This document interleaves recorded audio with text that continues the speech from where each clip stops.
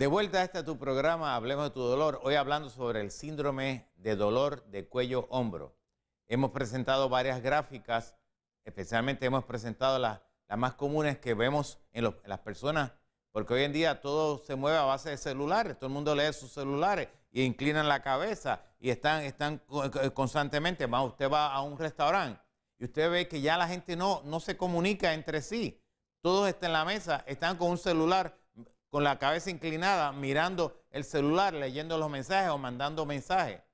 Y todas estas cosas que han creado una, un ambiente bien impersonal dentro de la misma familia, porque ya la familia no se comunica. Pues estas cosas han creado que las personas comiencen a tener severos dolores de cabeza, severos dolores de cuello, severos dolores de hombros, severos dolores de espalda alta, adormecimiento en las manos.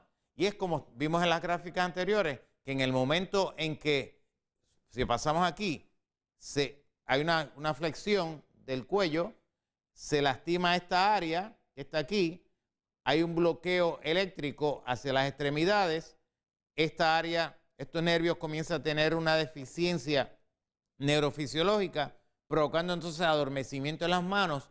Y lo lamentable de esto es que a la hora de usted ir a donde su médico, si el médico no tiene el conocimiento o el quiropráctico o el, fisiatra o el, este, el, compañero ah, generalista o médico de familia, no tienen el conocimiento sobre lo que es el síndrome del cuello-hombro como, como, parte de algo sumamente importante que hay que atacar, pues entonces lo primero que puede decir es que, usted tiene que, o usted tiene fibromialgia, o le pueden decir que usted tiene una polineuropatía, o le pueden decir que usted tiene un congelamiento de, nervios a nivel de hombro, o le pueden decir que usted tiene un síndrome de túnel carpal, o le pueden decir que usted tiene un problema de, este, polineuralgia, etc.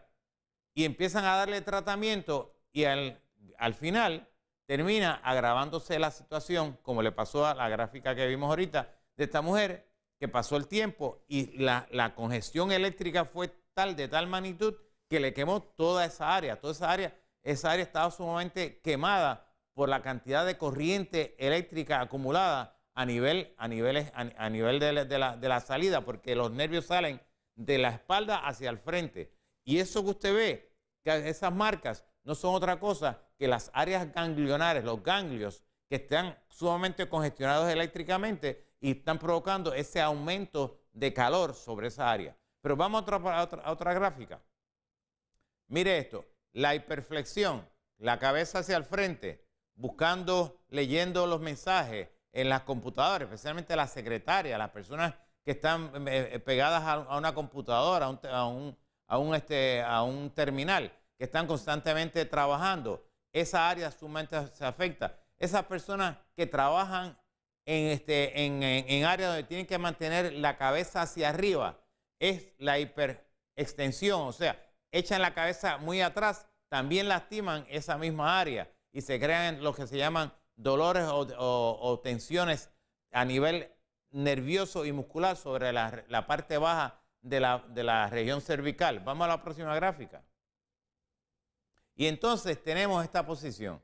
Si usted está constantemente tocándose la parte baja del cuello y la parte alta de las áreas torácicas, y usted siente que en el momento en que usted se está tocando se le adormecen las manos, cuidado, está posiblemente bregando con un problema de síndrome de dolor cuello-hombro. ¿Por qué? Porque en el momento en que usted sube la mano y hace este movimiento y usted siente que como que el brazo empieza a molestar y el hombro comienza a doler, o usted hace este movimiento, o si usted hace este movimiento y siente que el hombro la parte del deltoide, o sea, la parte anterior, eh, siente como una punzada o siente un quemazón de momento, siente una irritación, estamos hablando de un síndrome de cuello-hombro.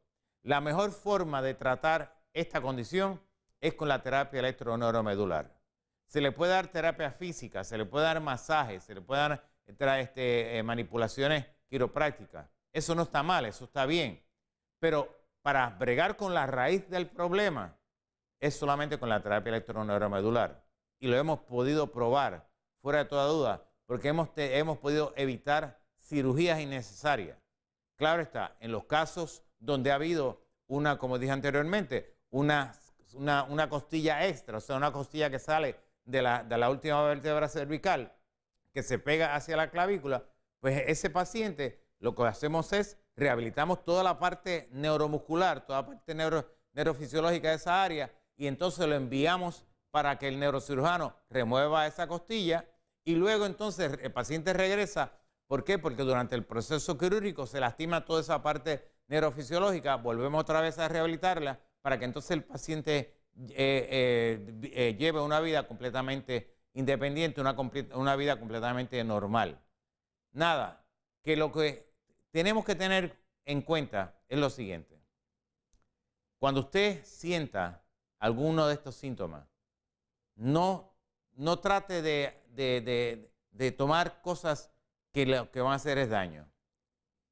Nosotros somos la solución de tu problema. Hemos demostrado a través de los últimos 30 años que los pacientes que han venido con años de condiciones ya son completamente libres. Y lo hemos podido demostrar en los diferentes programas. Llama a nuestra oficina al 787-523-6640 y será una bendición y un honor para nosotros poder atender. Y recuerda, Cristo es la solución. Sé que estoy aquí para traerte este mensaje, pero sobre todo para que sepas que estamos aquí por la voluntad de Dios y que sin Dios nada podemos hacer. Y estoy tocando este tema y posiblemente tú tengas un familiar, una persona, un compañero de trabajo, una compañera de trabajo, que le estén dando montones de tratamientos y no hayan encontrado la solución. y el problema sea que tenga un problema de síndrome de cuello-hombro. Será hasta nuestro próximo programa. Gracias por la bendición, el honor, el privilegio de permitirme entrar a tu hogar, dialogar contigo sobre estos temas tan interesantes para que así podamos hablar de tu dolor. Dios te bendiga. Gracias.